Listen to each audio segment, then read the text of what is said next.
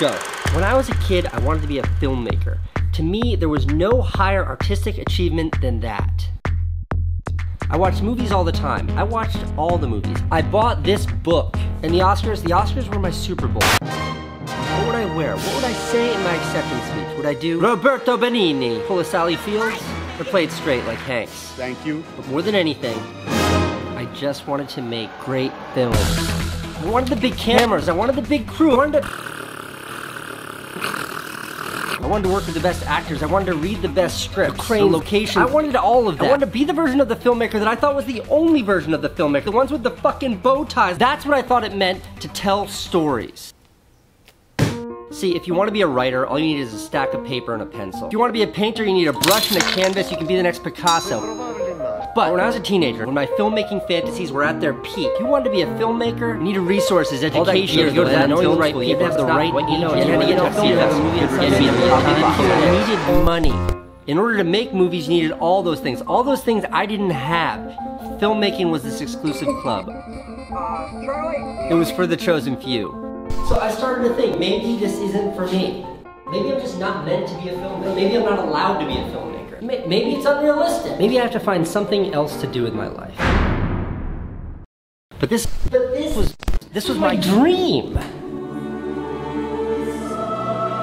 And if there's one thing I know about dreams, it's that to achieve them, you have to stop at nothing.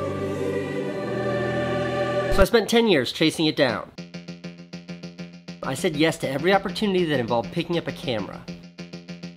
Bar mitzvah videos, wedding videos, birthday videos. The grind is not glamorous. Getting killed. Getting totally killed here. And this is the trailer I used to live in right there. But I would not, I could not give up.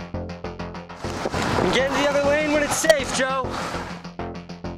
I went to Cannes. I mean, we didn't win. I got into Sundance. we didn't win there either.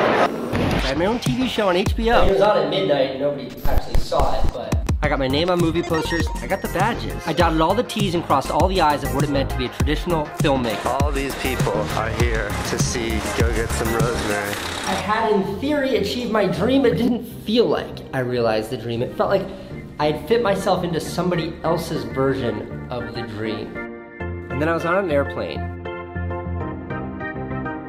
And I realized this isn't it. This isn't why I wanted to be a filmmaker.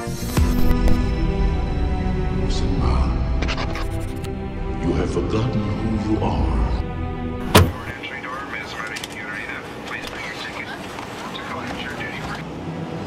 It wasn't the red carpets, it wasn't the film festivals, it wasn't the awards, it wasn't the award shows. None of that shit. The more time I spent chasing down the facade of success, the less creating I was actually doing. How can I go back? Remember who you are. In fact, it was after winning the biggest award of my career that I just said, fuck it. I just want to make internet videos. I'm going to make a movie every day. A proper daily vlog. Oh, good I'm God. psyched. Now, we live in the future, and chances are there's a camera in your pocket that's good enough for the big screen. But you don't need the big screen. A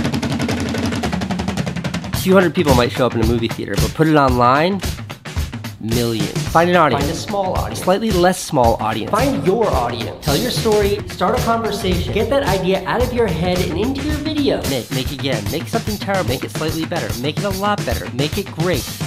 Finally, films, movies, videos, the most powerful form of storytelling that's ever existed. Something that used to be entirely out of reach finally. Filmmaking is now ours. Filmmaking is a sport. This is the new party, and now everyone's invited. Was that good?